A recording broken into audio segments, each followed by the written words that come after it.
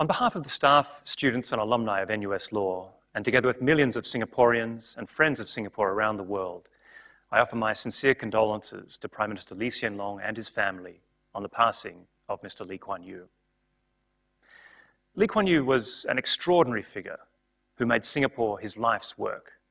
Few people are so closely identified with the entire history of a country as Lee Kuan Yew is with Singapore. Few people have had such an impact, not only on the development of a nation, but on its very character.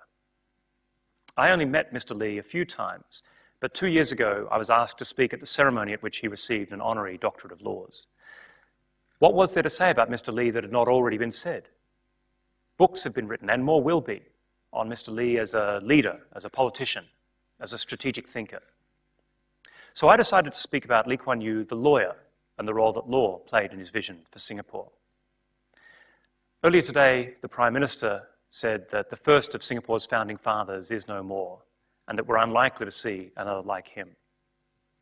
Singapore remains a work in progress, but the enduring foundations of good governance and the rule of law will be Mr. Lee Kuan Yew's legacy. May he rest in peace.